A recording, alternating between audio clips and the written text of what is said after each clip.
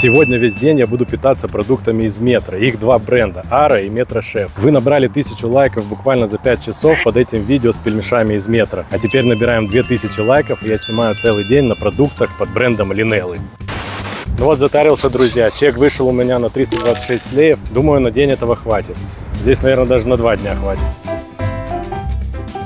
Сосиски по 120 леев за килограмм. Сосиски производят для них рогов молочные. Нормальная классическая вкусная молочная сосиска. Ни на одной банке под брендом Мара нет ключа, и это минус. Паштет с куриной печенью, производство Румыния. Стоит он 12 леев, в банке 200 грамм. Пахнет как обычный паштет. И по вкусу как дешевый паштет. Прям сразу. Мука, крахмальность, соя. Тостовый хлеб крупного сечения. Здесь полкило. Стоит 25 леев. Производство Германия. Вот, смотрите какой. Но паштет, к сожалению, не тот, который бы я хотел есть на завтрак. Обычный нормальный хлеб, но очень дорогой. Тунец 185 грамм, 130 грамм чистой рыбы. Производство Вьетнам стоит 26 леев. Открываю. Это самая настоящая каша. Тунец прям обалденный, хоть и каша. Вкусненько.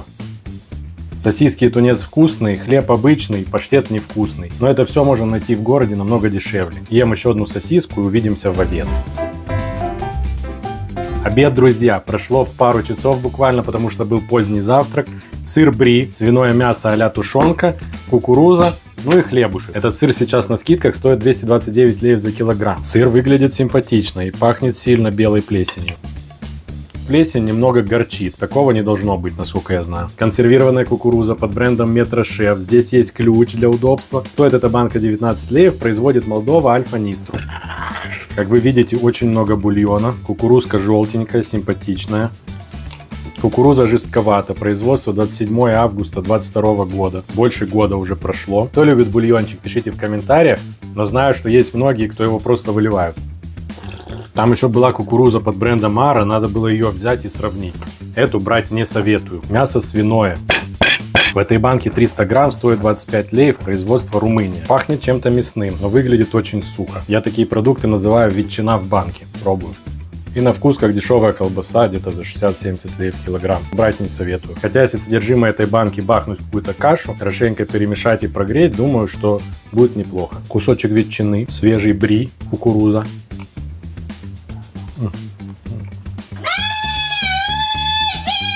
Ужин. Сардины, горошек, ушки, молоко. Консервированный горошек Ара стоит 13 леев, производство Альфа Нистру. Бульон прозрачный, горошек красивый. А вот горошек вкусный, в отличие от кукурузы.